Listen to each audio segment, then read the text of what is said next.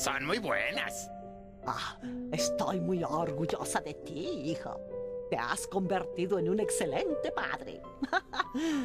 idéntico a mí, tal vez incluso mejor.